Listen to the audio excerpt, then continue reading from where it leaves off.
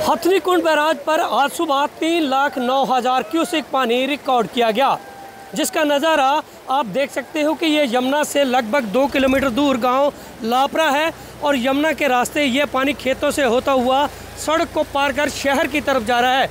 तस्वीर देख आप अंदाज़ा लगा सकते हैं कि कैसी ये पानी की स्पीड है। बहाव इतना तेज़ है कि लोगों का यहाँ से निकलना भी मुश्किल है। अगर मैं बात करूँ तो दूर दराज जो लोग हैं वो ट्रैक्टरों के रास्ते यहाँ से निकलने का प्रयास कर रहे हैं क्योंकि गाँव जो है, आगे जो गाँव है, वो पूरी तरह से पानी की चपेट में आ चुके हैं।